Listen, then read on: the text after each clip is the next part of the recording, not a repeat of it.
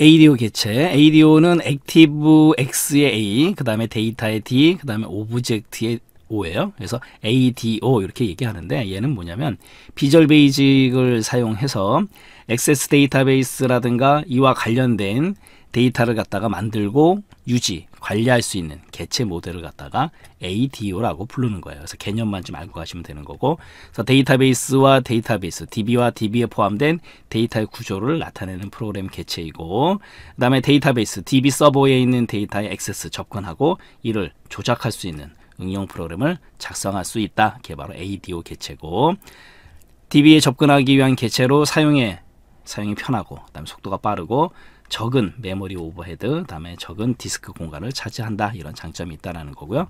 그 다음에 레코드를 수정한다거나 추가, 삭제 이런 편집 작업이 가능하다라는 거고, 그 다음에 ASP를 이용해서 웹사이트를 갖다가 개발할 수도 있다라는 거죠. connection 개체, connection이 연결이란 뜻이 있잖아요. 그렇기 때문에 데이터 원본에 대해서 열려 있는 연결을 나타낼 때 사용하는 개체고, 주요 속성 connection string string이 문자열이잖아요. 그러니까 연결할 때 사용하는 문자를 갖다 설정하는 거예요. 그래서 연결을 구성하는데 사용되는 문자열을 설정하는 게 connection string이고 connection하고 string이 합쳐진 거예요. 그 다음에 state, state는 무슨 뜻? 상태란 뜻이 있잖아요. 그래서 사용할 수 있는 개체가 열려 있는지 닫혀 있는지 그 상태를 갖다가 알려주는 거 상태.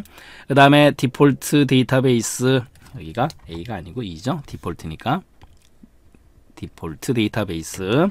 연결할 기본 데이터베이스를 지정하는 거 디폴트 데이터베이스. 그 다음에 주요 method open이라는 거는 열다 라는 뜻이잖아요. 그래서 원본 열기 그 다음에 close는 모두 닫음이라는 거고 그 다음에 execute 뭐야 실행이라는 뜻이 있어요. 그래서 query라든가 SQL 그 다음에 저장 procedure 등을 갖다가 실행한다 execute 실행한다 라는 뜻이고 그 다음에 close 같은 경우는 개체를 닫는 거지 메모리에서 제거하는 거는 아니에요. 이런 거는 맞다 틀리다 조심하셔야 되겠죠.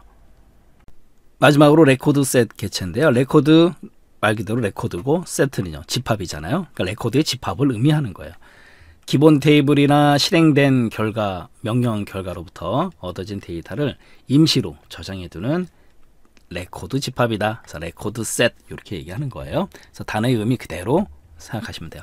active 활성화된 connection 그래서 현재 속해 있는 connection 개체를 나타낼 때 사용하는 속성이고 커서의 타입 커서의 형식이다라는 거고 타입이 형식이라는 뜻이 있으니까 그다음에 lock type 잠금의 형식이죠. 잠금 형식을 나타내는 거고 그다음에 record count 레코드를 헤아리는 거죠. 현재 레코드 수를 헤아리는 거고 그 다음에 BOF는 beginning of file 그래서 파일의 시작이다라는 건데 현재 레코드 위치가 record set 개체 첫 번째 레코드 앞에 오면 true다라는 거고 그 다음에 end of file 파일의 끝이라는 뜻이잖아요. 마지막 레코드 뒤에 오게 되면 그때 true 마이너스 1을 갖다 반환한다 라는 거죠.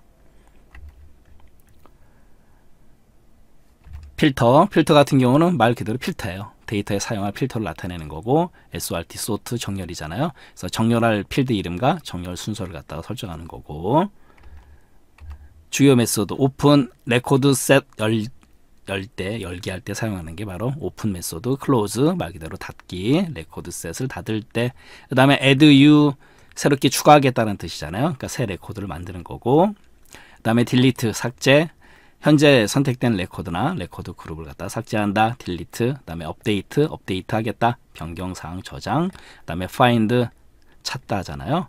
그래서 정의된 기준에 맞게 레코드를 검색, 검색, find, 그다음에 SEEK, seek 찾다라는 뜻이 있거든요. 그래서 record set 인덱스를 검색해서 지정한 값과 일치하는 행을 찾고 그다음에 현재 행의 위치를 갖다가 해당 행으로 변경해 주는 거 seek. 그다음 마지막으로 save 저장이잖아요. record set 파일을 갖다가 저장한다라는 거예요. 네, 포인트 강의 마치도록 하겠습니다.